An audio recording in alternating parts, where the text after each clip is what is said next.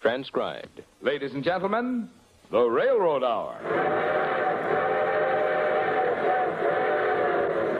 And here comes our star studded show train.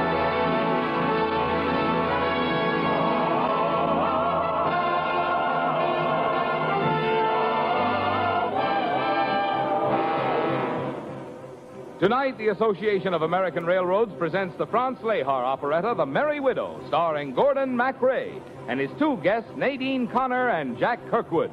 Our choir is under the direction of Norman Luboff, and the music is prepared and conducted by Carmen Dragon.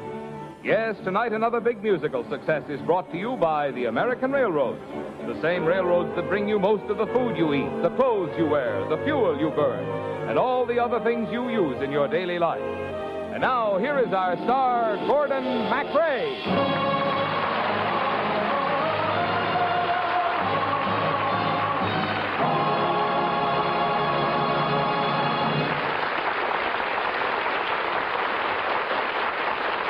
Thank you, Marvin Miller, and good evening, ladies and gentlemen.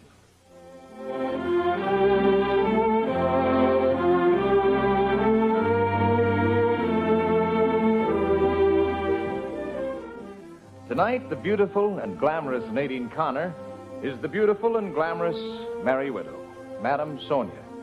Jack Kirkwood plays Baron Popoff, and I'm Prince Danilo, attache to the Marsovian Embassy in Paris. Where is Prince Danilo? That's Baron Popoff, the Marsovian ambassador, calling me. Where is Prince Danilo? You see, I'm absolutely indispensable to him. Where is that no good bum? You can see I'm indispensable.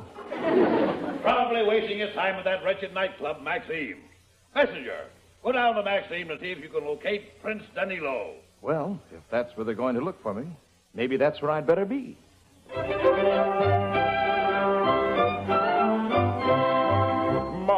Native land is calling me to come and work from one to three. Though as there isn't much to do, I only come at half past two. Diplomacy exhausts a man, and I know all the work I can, but never ever get to bed until I paint this town quite red. With all my lovely Maxim girls, I give them cash instead of pearls. So all my blondes and brunettes say, Come out with us tonight and play. We dash off to Maxim's, where fun and frolic beams, while all the girls I flatter, they laugh and kiss and chatter. Lo, lo, do, do, ju, ju, It really doesn't matter. I kiss the first at hand. And when the corks go pop, we dance and never stop. The ladies smile so sweetly, I catch and kiss them neatly. Lo, lo, do, do, ju, ju, clo, clo, ma, go, foo, foo. Till I forget completely my dear old native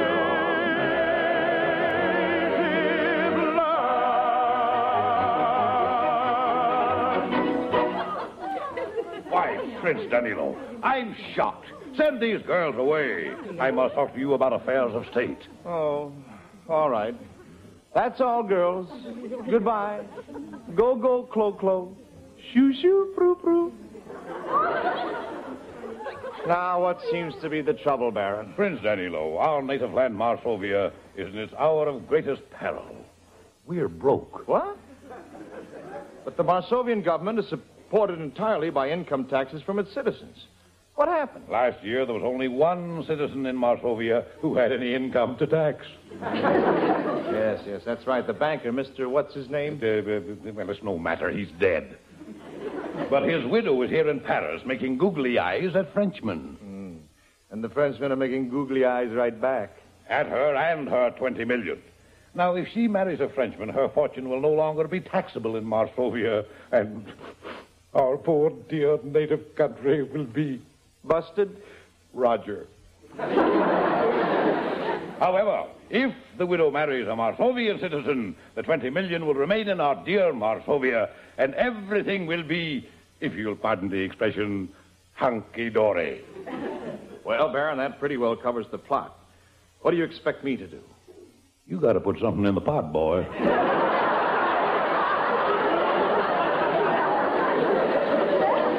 But how, Baron? By marrying the rich widow. Mm-hmm. Why don't you marry the rich widow? How can I? Oh, yes, that's right. You're married, unfortunately. You have no idea how unfortunately I Could I, uh, I meet this merry widow before I marry her? Mm, of course. She's guest of honor at an embassy party tonight.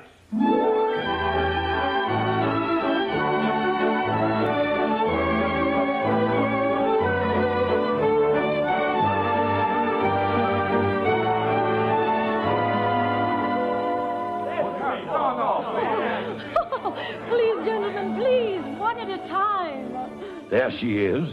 See how the Frenchmen throng about her? Oh, I'll dance with all of you. The evening is young. Oh, good Lord. What's the matter? Why, that's Madame Sonia. I, I can't propose to her. Why not? Oh, never mind, Baron. I, I, I can't tell you, but there's a very good reason why I shouldn't marry Madame Sonia. There's an even better reason why you should.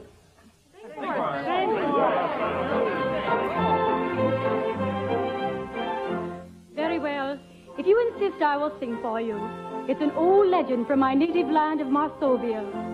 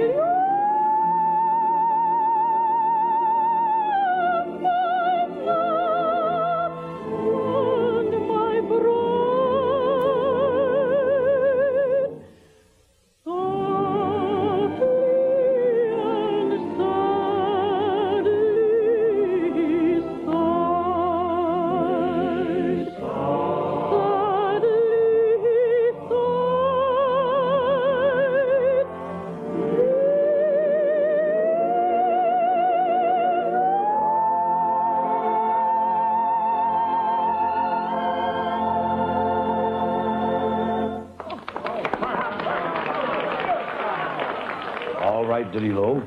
Go and propose to her. Now, this is against my better judgment, Baron, but I'll do it. For Marsovia. Madame Sonia. Danilo, You remember my name, Madame Sonia. I've tried to forget it. Oh, now, now, please, Sonia, let's not be harsh. Harsh?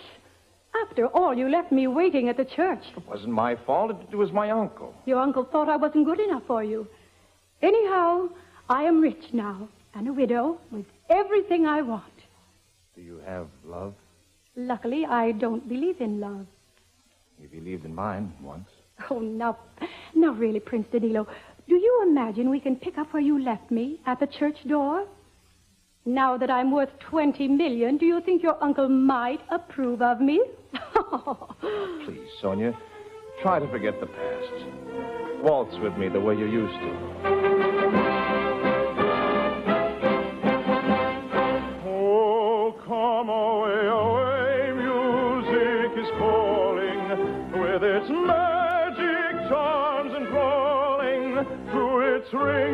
And singing, you lift your feet, follow the chime of the time of the waltzer's beat. Oh, come oh, away, away, music is playing. Linger not vainly delaying. Take your partners oh, while you may. Come dance away until the break of day.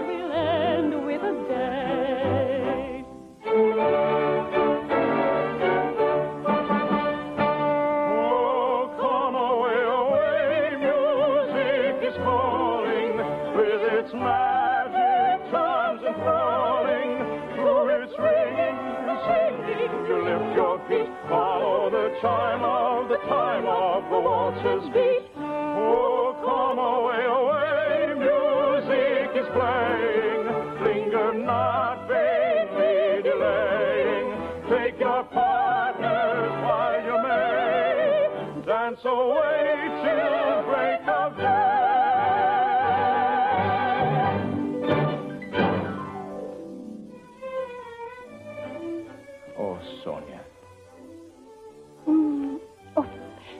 Prince Danilo.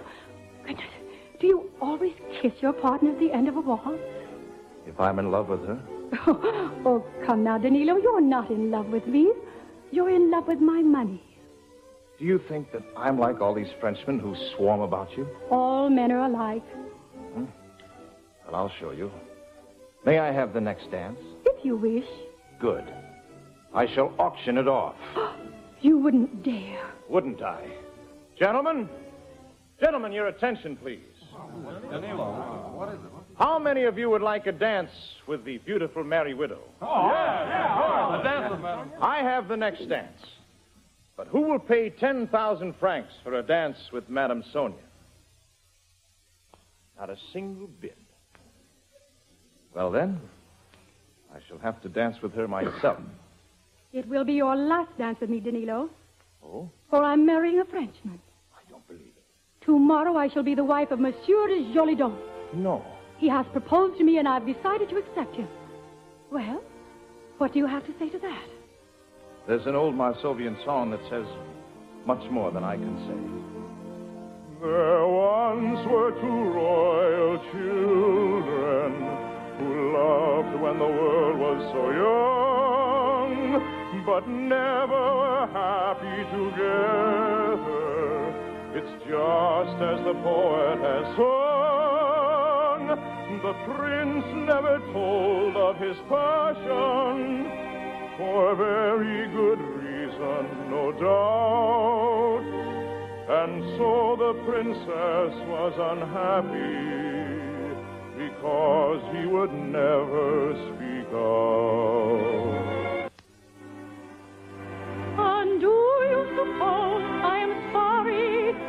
I don't mean to cry. I shall not go dreaming about you. That's what the prince said, and not I. And both and the prince have the answered. They're married. I'm finished with you. With that, the prince coolly departed. Yes, and so will I. Where are you going? Away from embassies and merry widows. I'll go back to Maxim's. I've done with lovers' dreams. The girls will laugh and greet me. They will not trick and treat me. Lo, lo, do, do, ju, ju. Clo, clo, ma, go, fru, fru. I'm going back to Maxim's. I've had enough, of you. he loves me, I'm sure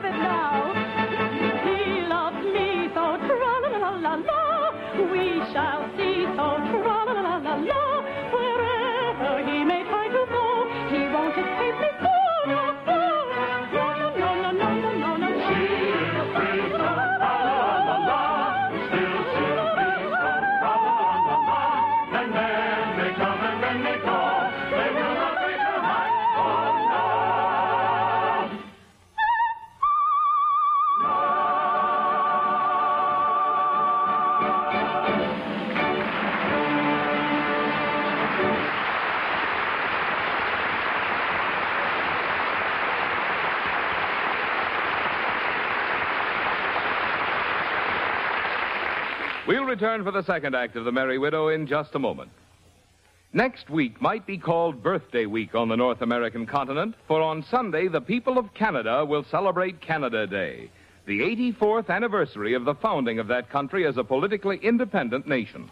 And just three days later, we in the United States will observe our own Independence Day. During the time that Canada and the United States have grown side by side in independence, there has developed between them a feeling of solidarity and friendliness unparalleled anywhere in the world today. Reflecting this spirit of international unity are the railroads of the two nations. For railroads of each country own and operate lines in the other country.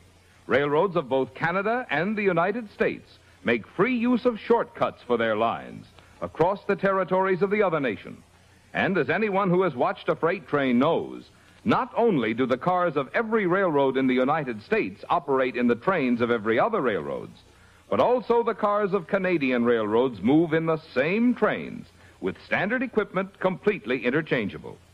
Yes, in these and in many other ways, the railroads of both countries work together to the end that freight originating at any point in either country can be delivered swiftly and dependably to any point in the other country. Because of this close cooperation between the railroads on our continent, there exists a freedom of movement of raw materials and finished products from which all of us benefit through a higher standard of living. Today, the railroads of both countries are busy at work, preparing to meet the transportation demands of both daily commerce and national defense. It is with this feeling of friendship, of working together, shoulder to shoulder, in long established and common aims in time of peace or in national emergency, that the railroads of the United States take this opportunity to salute the people of Canada and wish their great nation a happy birthday on Canada Day next Sunday.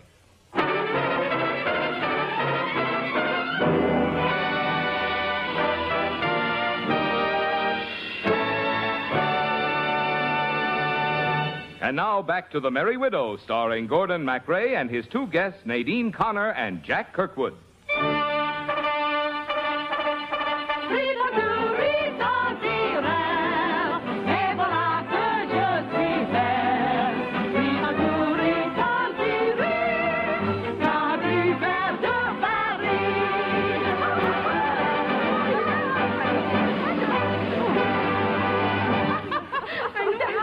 Danilo, I might have known I'd find you in this low cabaret. Hello, Baron. You certainly made a mess of things. I trust you with an important mission to marry Madame Sonia and save the Marsovian treasury. And what happened? She's marrying a Frenchman tomorrow. I'm sorry I failed you, Baron, but it's impossible to figure out a woman. Mm, yes, I know. There's something wrong with all of them. when a man marries, he gets hooked with one that's either fat, homely, selfish, cruel, or expensive. Unless he waits. And if he waits, He gets hooked with a combination of all of them. For the women, Oh, the women How to win Tell them. us pray. That's an art I'm rather dim in, for there is no other way. Winning women, Winning women, for their lovers, Thousand times. that's what nobody discovers. not even an Edison. You may study her ways as you can, but a woman's too much for a man. It is deeper than diving for pearls. Courting girls, girls, girls, girls, girls. With her fair flaxen hair, eyes of blue, she's a long way to knowing for you. She is dark or she's fair, she may smile or may frown. Never mind, you will get done brown.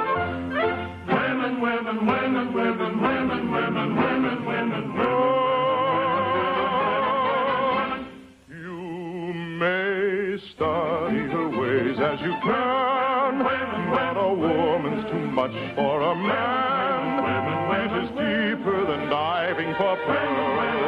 Courting girls, girls, girls, girls, girls. With her fair flaxen hair, eyes of blue, she's a long way to knowing for you. She is dark or she's fair. She may smile Never mind, you will get done brown.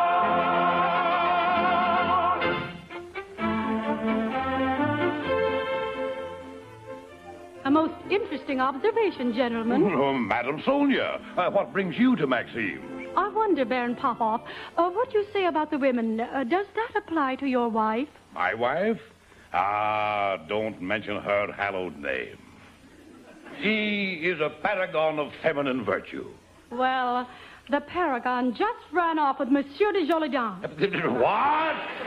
He's the Frenchman you're supposed to marry tomorrow. Oh, I just made that up. If my wife has run off, then I am legally divorced. How's that, Baron? Under Section 4 of the Marsovian Married Men's Protective Act. if your wife runs off with a Frenchman, you are legally divorced. How convenient. And now that I am free, I have the honor, dear lady, to ask you for your hand. In marriage? How else? Will you marry me, Madam Sonia? Before I accept, I must tell you just one teensy weensy thing. If I marry again, I lose all my property. Eh, uh, what? All your millions? Down to the last mill. Maybe I was a little hasty. That's no way to put some money in the pot, boy. Is it true you lose all your money if you marry again? Yes. Well, then, Well, can't you guess what I want to say? well, why not say it if you want to? I love you. Oh, and I love you. I've always loved you. Sweetheart. Now, wait a minute. You're going to marry her without any money? Why, of course. Ooh, the man's crazy. But you understand, I lose my money because I shall give it all to my new husband. Uh, the woman's crazy. oh, my gosh, they're all right. I'm the one that's crazy. Well, don't you worry, Baron. At least the money remains in Marsovia, and the national treasury is safe. Tell me you love me again, Danilo. Not in words, my darling. Let me tell you with our own waltz. Though I say not what I may not let you hear, yet the swaying dance is saying,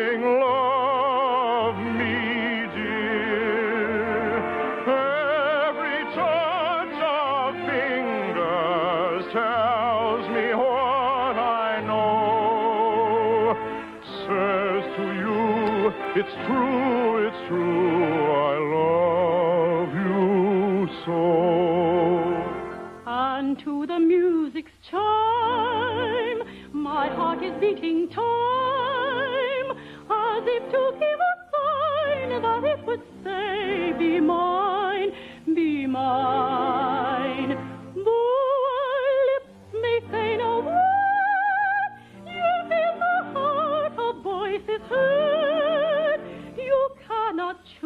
but no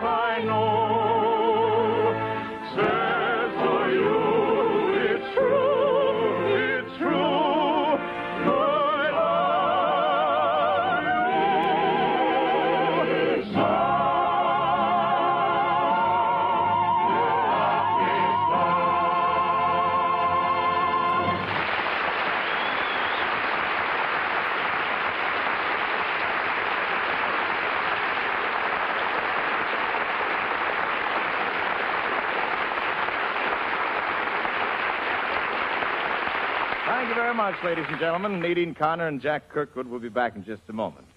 The Merry Widow with music by Franz Lehar and book and lyrics by Victor Leon, Leo Stein, and Adrian Ross, with English adaptation by Georges Edouard, was dramatized for the Railroad Hour by Lawrence and Lee.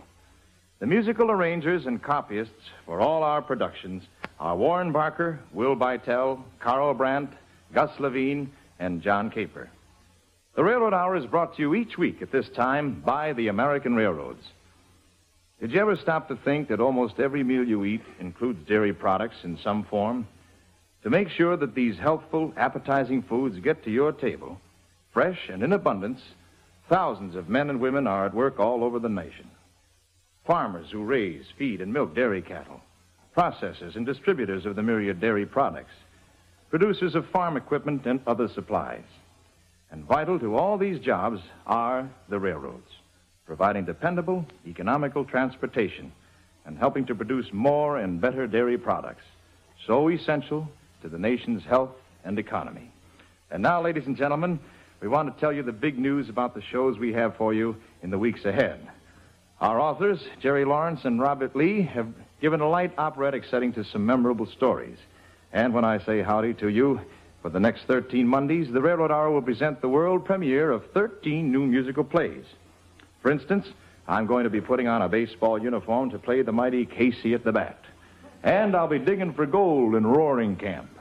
And I'll be falling in love in the most romantic city in the world in the charming new operetta, Springtime in Paris. You uh, can't fall in love with yourself, boy. Who's the girl?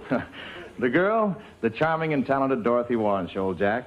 And next week, she'll join me to sing the title song of our musical premiere, Beautiful Dreamer. Oh, I love the Stephen Foster melodies. Well, then I hope you'll be listening, Nadine, for the surprising romance of America's first great songwriter. Well, we'll be at our radios, Gordon. I'll have my head right inside the horn. Well, it looks as though we're ready to pull out. And so until next week, this is Gordon MacRae saying goodbye.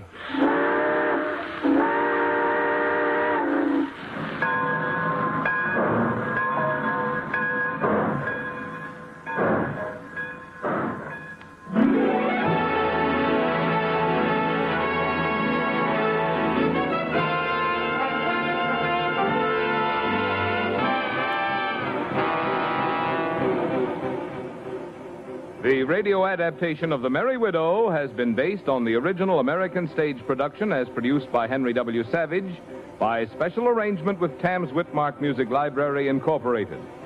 Gordon MacRae appeared through the courtesy of Warner Brothers, producers of Alfred Hitchcock's Strangers on a Train. Our choir is under the direction of Norman Luboff, and our music is prepared and conducted by Carmen Dragon. This is Marvin Miller saying goodbye until next week for the American Railroad. Now keep tuned for your Monday night of music on NBC.